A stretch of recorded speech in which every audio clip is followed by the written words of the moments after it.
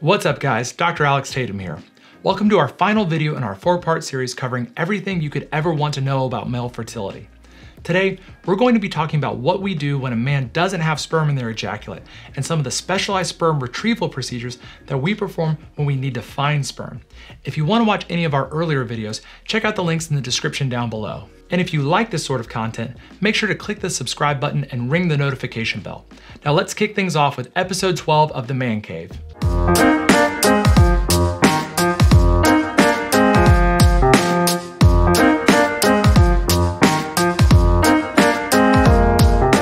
So what does the phrase sperm retrieval procedure actually mean?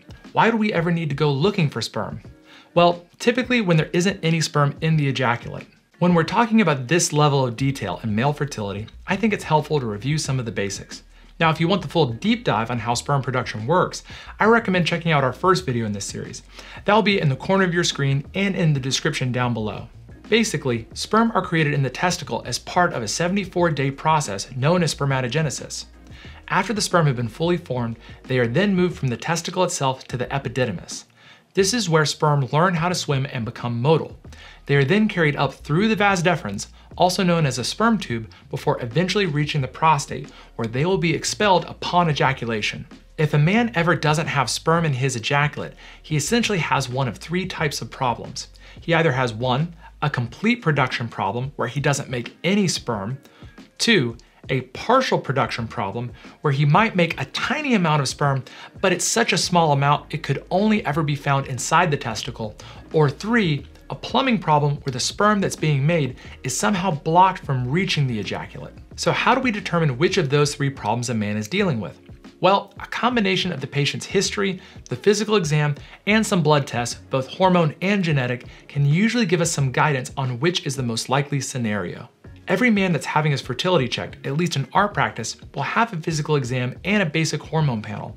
If a man has healthy sized testicles and normal hormone levels, he has a high likelihood of being blocked. This is called obstructive azoospermia, and it implies that a man is making sperm, but it just can't get out into the ejaculate. Now, if a man has small testicles and abnormal hormone levels, specifically an elevation of one particular hormone known as FSH, then it's likely he has a partial or complete production problem. This is what's known as non-obstructive azoospermia, or NOA. In addition to the basic hormone panel that we get in almost all men getting their fertility checked, we will often get special genetic tests in men who don't have sperm in their ejaculate.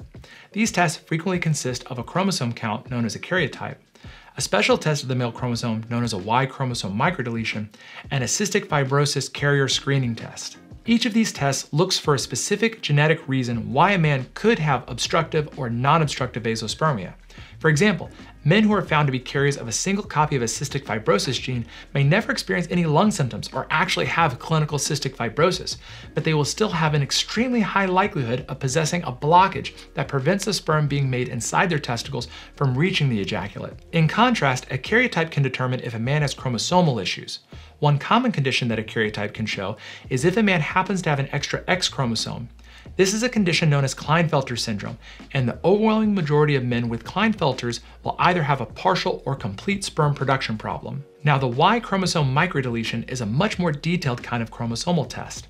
Rather than counting all the chromosomes present in a cell or looking for large chromosomal problems, the Y chromosome microdeletion examines a very specific part of the male chromosome that's responsible for sperm production. If the test is positive, the Y chromosome microdeletion test can have a few different outcomes. Men can have either what's known as an AZFA, AZFB, or AZFC deletion. Men with an AZF A or B mutation have an irreversible and complete sperm production problem, while men with an isolated AZFC deletion have the possibility of still making a small amount of sperm inside the testicle. So those are some of the key tests that we order when a man doesn't have sperm in his ejaculate. There are some other more straightforward reasons as to why a man may not have sperm in his ejaculate that actually don't require this testing though. For example, men that don't have sperm in their ejaculate because they're actively or have recently taken testosterone or other anabolic steroids rarely need this testing. Rather, they just need to stop taking their anabolic steroids and instead start medication to help reboot their natural sperm and testosterone production. And men who don't have sperm in their ejaculate because of a prior vasectomy don't need this special genetic testing either. They either need a vasectomy reversal or a sperm retrieval procedure. So, what are those sperm retrieval procedures? When are they used and for which patients? Well, I think it's helpful to break these up based on anatomy. Let's start with the testicle. And remember, any sperm that's retrieved with a sperm retrieval procedure must be used with in vitro fertilization, also known as IVF, in order to achieve pregnancy. It cannot be used with intrauterine insemination or for conception at home. Now, the most basic sperm retrieval procedure that we perform at the level of the testicle is called a TESA, or a testicular sperm aspiration. This is where a small needle is placed into the testicle while attached to a syringe that's applying a small amount of suction. This quick five minute procedure allows us to retrieve a small amount of sperm directly from the testicle. This can be used as a therapeutic option to obtain sperm for IVF and is a common option for men with obstructive azoospermia, which, like we mentioned earlier, means men who have a blockage. Probably the most common scenario is a man who's previously had a vasectomy What's nice about a TESA is that it's extremely easy to recover from. Men have very little soreness and are frequently back to work the same day. The drawback is that because we're only removing a very small amount of sperm, we don't always get enough to freeze for later. So when being done for IVF, a TESA usually has to be done the same day, and there often won't be enough sperm left over to freeze for any later attempts. A TESA can be done in the office under local anesthesia or in a procedure room with a small amount of sedation if men really need it. But I always try to reassure patients this is even less invasive than the average vasectomy and shouldn't be a source of anxiety. It's worth noting that a TESA can also be performed as a diagnostic option in the clinic for certain men. A great example is a man who's had a prior vasectomy, but he's also taken testosterone at some point. If we want to confirm that he's even still making sperm, a TESA is a quick and easy way to confirm that in the office prior to any more formal procedures.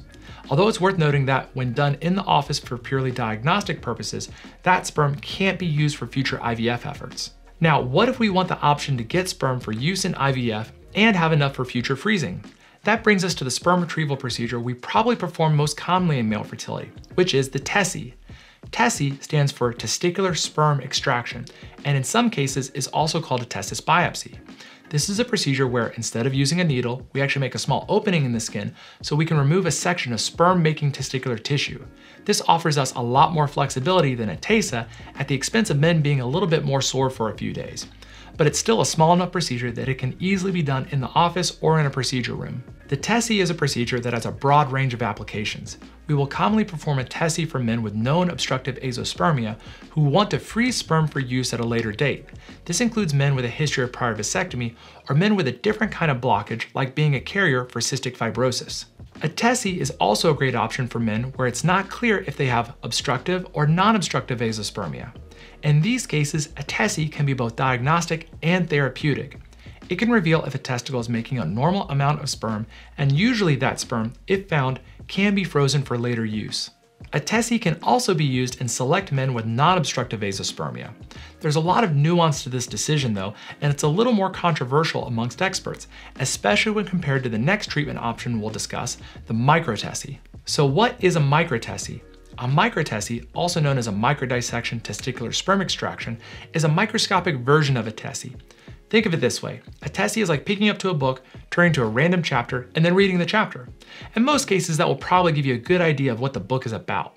A microtese, on the other hand, is like reading every single word cover to cover. It is an exhaustive look through both testicles using a high-powered surgical microscope. So when would someone need a microtese? Microteses are typically reserved for men with known non-obstructive azoospermia. That means that we know that their testicles probably don't make very much sperm, if any at all.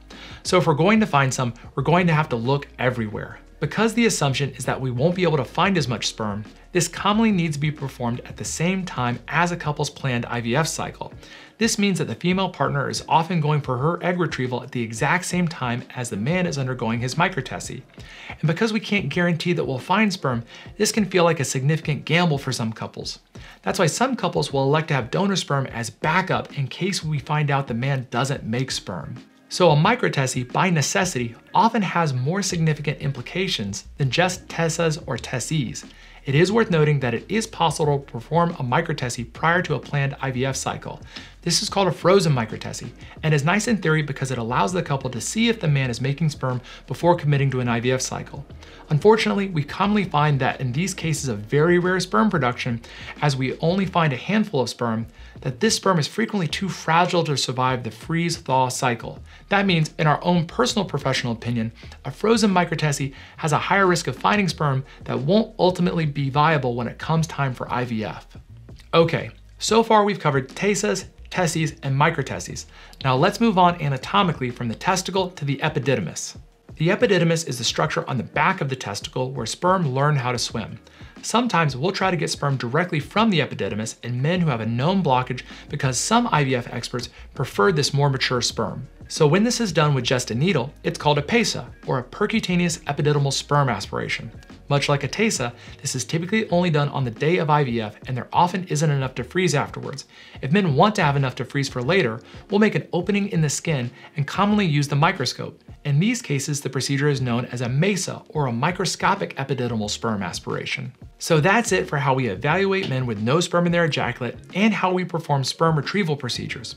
And that also brings us to a close on our four part series covering almost everything you could ever want to know about the topic of male fertility. If you haven't checked out our other videos, I would highly recommend that you do so, and they'll be included in the description down below. If you yourself or a man you know is questioning their facility, please reach out to us and make your appointment today. Call us at 877 362 2778 or visit our website at www.indymenshealth.com. Until next time, this is Dr. Alex Tatem signing off.